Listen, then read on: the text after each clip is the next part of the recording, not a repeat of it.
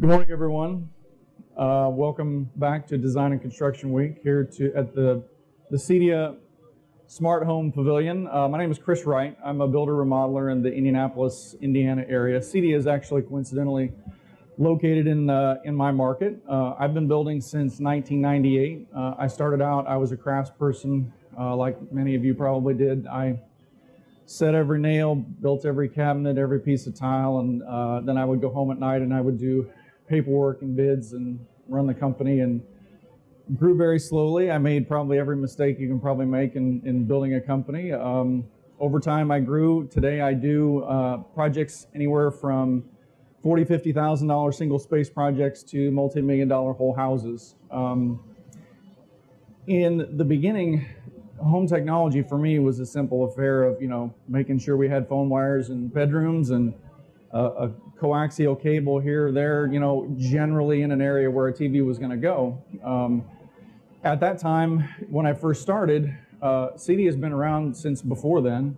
Um, home technology companies, uh, integrators, the conception back then for me was okay well that's who you hire if you're going to build a multi-hundred thousand dollar home theater and that wasn't really the, the world that i lived in over time more and more of my clients, and today pretty much every client, wants and expects some level of technology integrated into their projects, whether it's you know a simple living room, uh, major kitchen renovations typically now are involving a combined living space, and if there's a TV in that area, I am dealing with technology challenges, technology questions. Um, they're they're asking me to provide options and resources that if I don't have, I don't I have a competitive disadvantage about uh, against other people, other builders that might be bidding against me that might have those resources.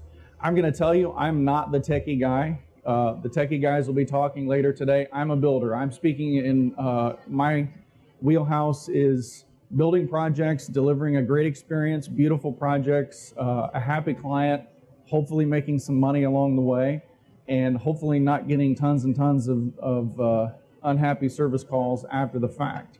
So knowing that our clients are demanding more and more of those things, it's more and more important that we as builders, as designers, have resources, people that can answer these questions.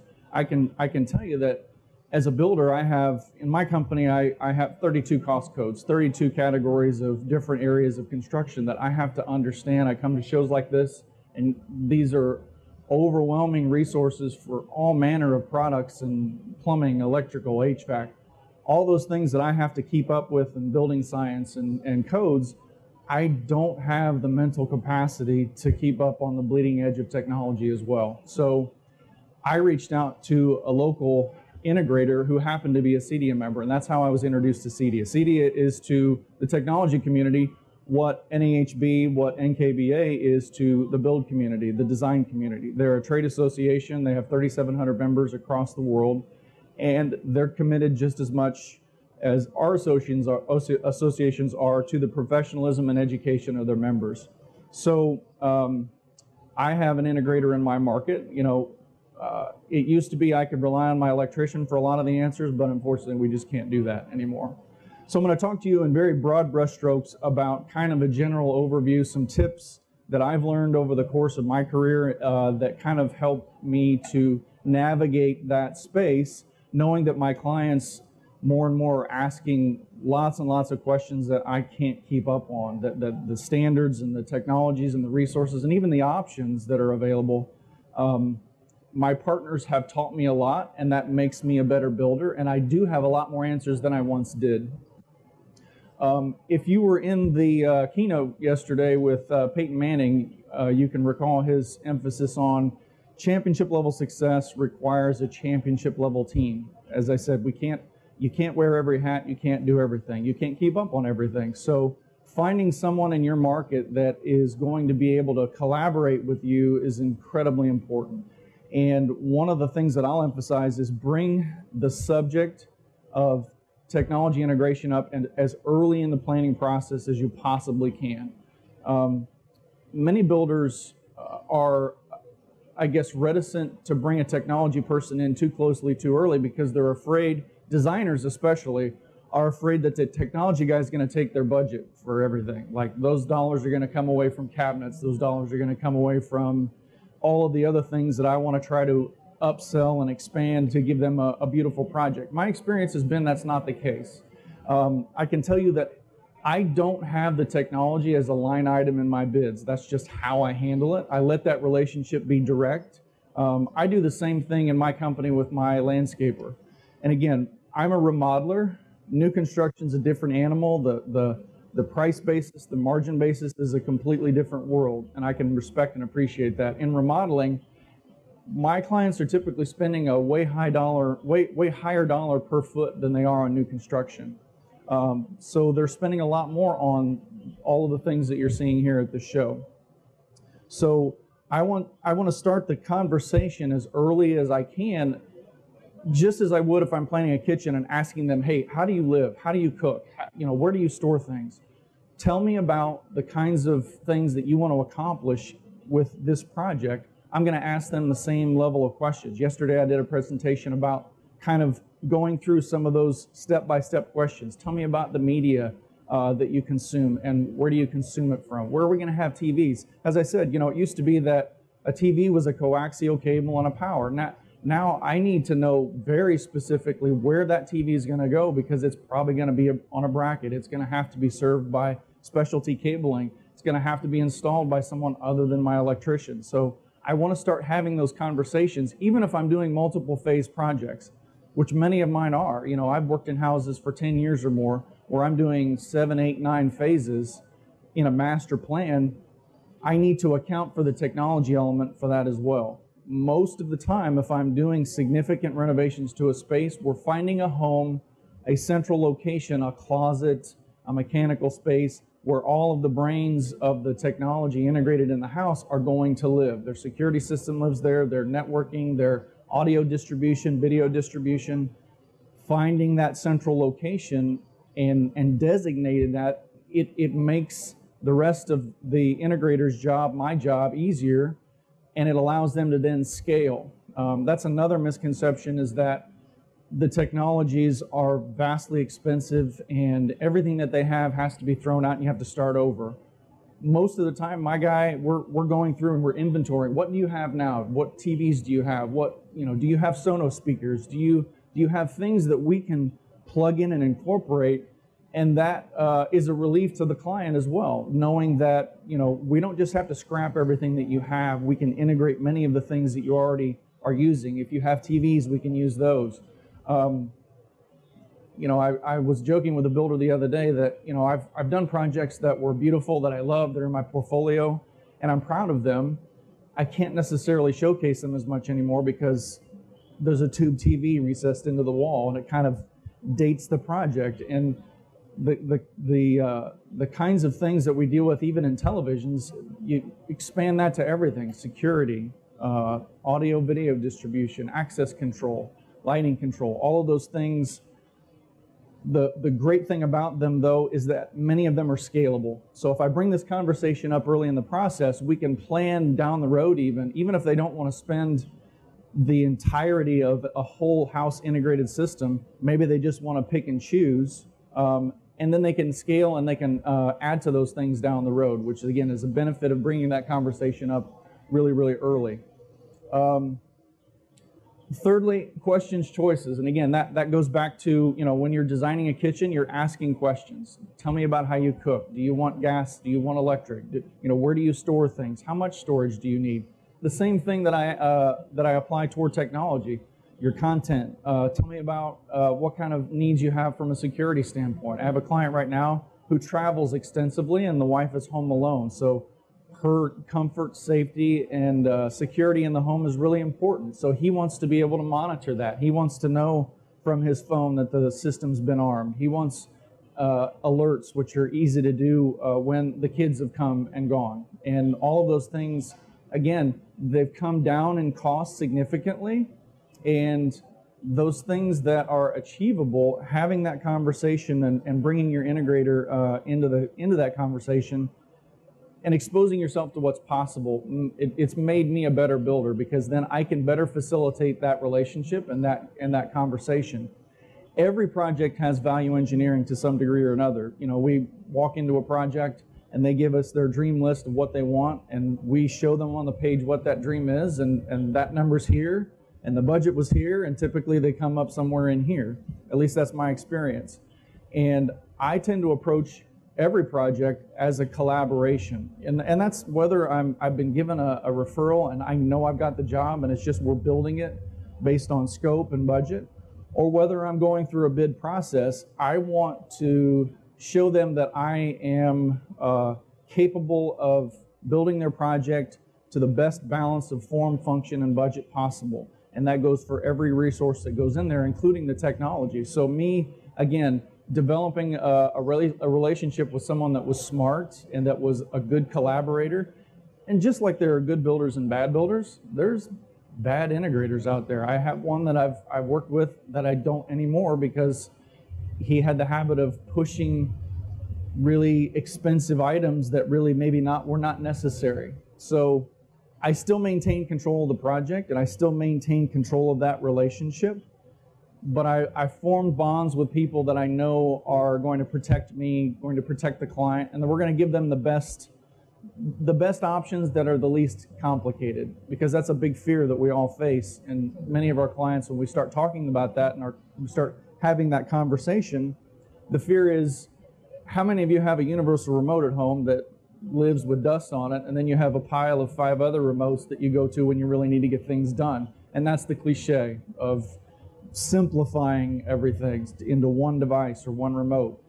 Those options, those devices have gotten smarter. Uh, the technology community, I think, has come a long way in, I think, really embracing making things much more simple. And really, these these have brought such a revolution to many of the things that that we're encountering anymore, because our clients are already using smartphones, smart uh, devices to do other things in their world. How many of you use Sonos? Uh, how many of you use uh, Spotify or Pandora? These are things that your clients are already doing, and if you can show them ways to, hey, you already have some Sonos technology. We can now distribute Sonos the same app that you use for your little speakers that you're putting on the shelf, I can now do those same devices and send audio to rooms of your house in, in in-wall speakers. And I can do that in a way that you already know how all that stuff works. And those are the kinds of things that our clients, they're already doing that and they already want, they want options to do more of that with the projects that we're, that we're uh, uh, building for them. Um, number four, allow time at the rough and at the end. Don't have the technology conversation like mid to, to late stage of your rough-in because that's already too late.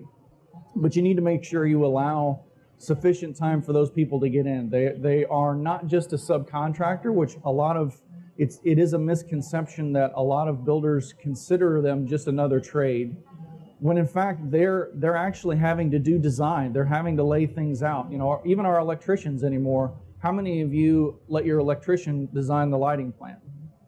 No, we don't do that. We give them a lighting plan because that's not that's not their purview. They're not in they're not in the design world. Like there's a there's a creative element to that that that is required. The technology side, the integrator side, it, it requires a layer of design. They have to plan for the infrastructure. They have to plan for where things go. They have to plan for viewing angles and distances and uh, sound distribution, all of those things. Um, when in doubt, we're running conduit constantly. Um, one of the big myths that uh, a lot of us, I know I had this for a long time, was that everything was eventually going to become wireless. And that's just not the case. Our wireless systems are really not robust enough to handle the sheer volume of, of content we're demanding from them. I had uh, internet problems at my uh, house this past week. I had you know intermittent service. I call them up and they're teching it over the phone and looking at my uh, my connection. And I have two teenage sons. They're both gamers. They both have laptops, smartphones. Um, I have to have lightning fast service, or they're screaming at me uh, because things are not running the way they should. So I'm talking with this guy, and he's like, "Okay, well, it looks like you've got a couple hardwired devices. I've got a desktop and an Xbox, and then he says you have 21 wireless devices on your wireless network. And, I'm, and I said to myself, okay, if I'd had to guess, I'd have said five or six. But I'm thinking, and I'm, okay, I've got smart TVs that want to be on the wireless. I've got three Sonos speakers. They're on that system. I have my tablet, my laptop, my smartphones, my son's stuff. That stuff is just too much.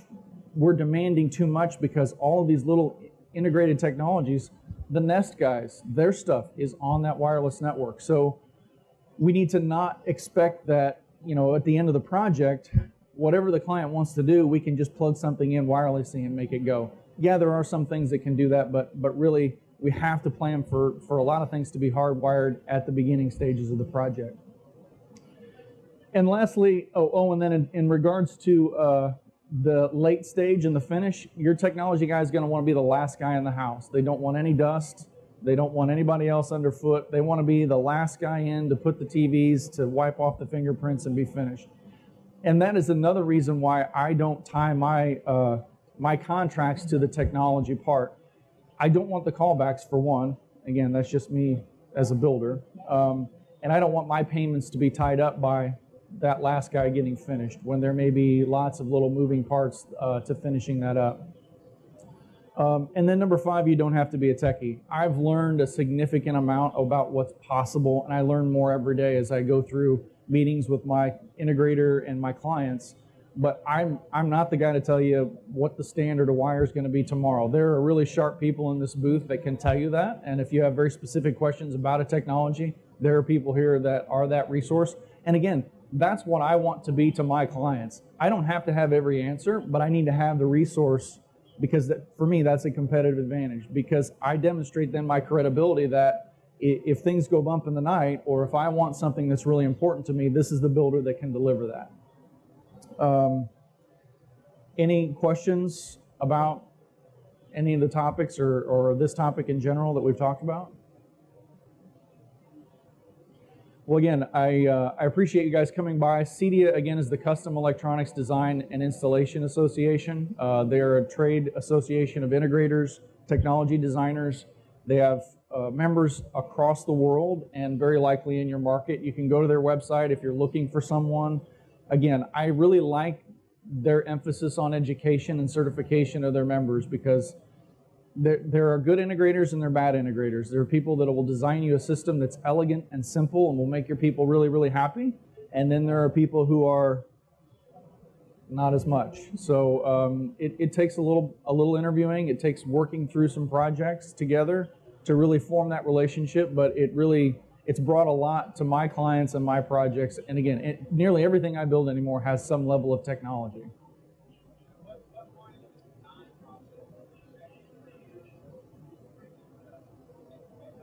I, it's typically toward the latter stage of architecture and interiors. So if, if I've got the architectural plan, the, the, the, floor schematic, if I've got that finalized, if I've got my electrical plan finalized, because placement of lighting, a lot of times they're trying to simplify speaker layouts and things to coordinate with lighting plans. That's typically when I'll when I'll have that meeting, but I'll probably bring up the subject um, again, I'm, I'm selfish. I'll probably build my build budget first and I'll kind of get down the road towards kind of a final buy-in on what the, the overall scope's going to be. And then I'll plug that person in. What I find is what they spend on the technology is independent of, of my budget. And, and I'm, I'm way okay with that.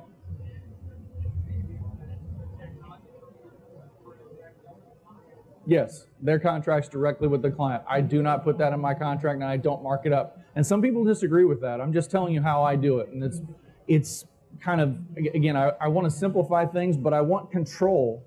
I don't want them to go out on their own because then I've got the headache of this third party who doesn't work for me, who's not beholden to me and my schedule and coordinating with me and, and it just creates potential headaches. So I want to direct them to the person I know is going to serve them well and serve me well.